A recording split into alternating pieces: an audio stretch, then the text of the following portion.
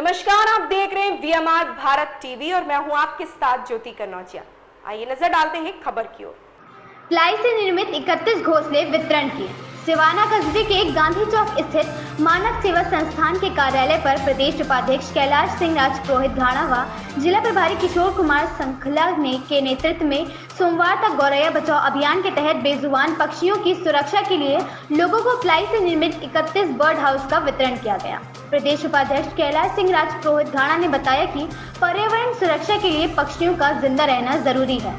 गौरैया चिड़िया जैसी प्रजाति विलुप्त होने की कगार पर है। अगर ऐसा ही रहा तो आवाज़ जल्द सुननी बंद हो जाएगी। राजपुरोहित ने लोगों से अपील की है कि कोई भी शादी समारोह या जन्मदिन कार्य में उनको उपहार स्वरूप घोंसले जिला प्रभारी किशोर कुमार संकला ने बताया कि संसद और गौरैया बचाओ अभियान के तहत क्षेत्र में घोसले वितरण कर रहे हैं। बेजुबान पक्षियों की सुरक्षा के लिए शुरू की गई मुहिम से लोग लगातार जुड़ रहे हैं। इस मौके पर जिला उपाध्यक्ष ओम प्रकाश प्रजापत, शुभम सोनी, गणपत सिंह राजपुरोहित, तरुण सुंदेश, रंजीत माली आदि मौजूद थे।